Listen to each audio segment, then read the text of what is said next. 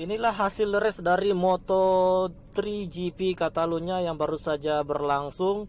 Sangat seru sekali. Bayangkan 15 pembalap berbaris sejajar untuk memperebutkan posisi yang pertama dan akhirnya ada crash yang melibatkan John McPhee, Andrea Migno dan Tatsuki Suzuki dan dua satu lap menjelang akhir giliran Ayumu Sasaki, Denis Foggia dan Safir Artigas yang mengalami crash dan yang lucunya ia kemudian digonceng oleh pembalap lain untuk mengitari garis finish di balapan MotoGP Catalunya kali ini. Dan sang juara Sergio Garcia berhasil unggul tipis atas Jeremy Alcoba yang merupakan pembalap dari Indonesian Gresini Team Racing dan ini adalah catatan waktu lengkap Sergio Garcia mencatatkan waktu terbaiknya 1 menit 48,852 detik unggul hanya 0,05 detik atas Jeremy Alcoba di urutan kedua. Kemudian di tiga ada Jaume Masia diikuti oleh Dennis Oncu.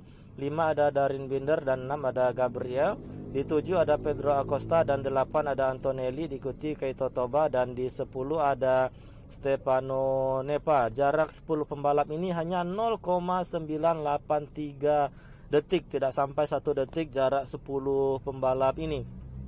Dan di urutan yang ke-11 ada Romano Venati, di 12 ada Yuki Kuni, di 13 ada Daniel Holgado dan di urutan ke-14 ada Elia Bartolini, 15 ada Yamanaka dan 16 ada Lorenzo Velon dan pembalap Indonesia Andi Gilang finish di urutan ke-17.